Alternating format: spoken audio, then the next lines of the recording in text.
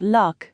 Sam Greenfield is a clumsy, orphaned young woman whose life has been constantly plagued by misfortune and has recently been forced out from her foster home, the Summerland Home for Girls, much to the dismay of her younger friend slash foster sister Hazel, who is hoping to be adopted soon. One night, after sharing a panini with a black cat, she finds a penny she hopes to give to Hazel for her collection of other lucky items to help her get adopted. The next day, Sam notices that the penny has made her luck significantly improve. However, she soon loses the penny by inadvertently flushing it down a toilet.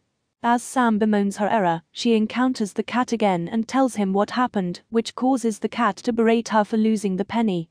Shocked, Sam follows the cat through a portal to the land of luck, where creatures like leprechauns create good luck for the people on Earth. The cat, named Bob, tells Sam he needs the penny for traveling purposes, and that he will be banished if word gets out that he lost it. Bob and Sam make a deal to get another penny from the penny depot for Hazel to use before returning it to Bob.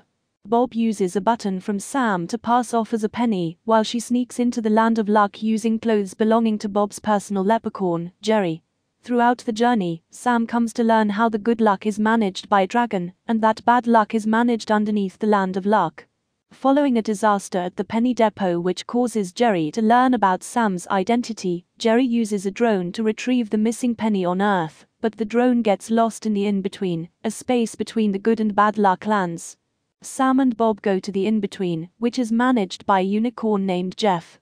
Jeff manages a machine called the Bad Luck Apparatus that keeps bad luck specks from sticking which feeds the randomizer, another machine that sends both good and bad luck into Earth. Jeff tells the pair he found the penny and has returned it to the depot.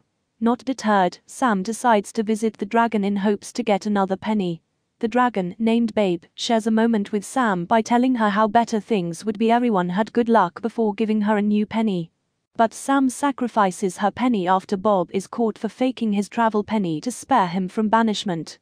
Still wanting to help Hazel, Sam and Bob decide to temporarily shut down the bad luck apparatus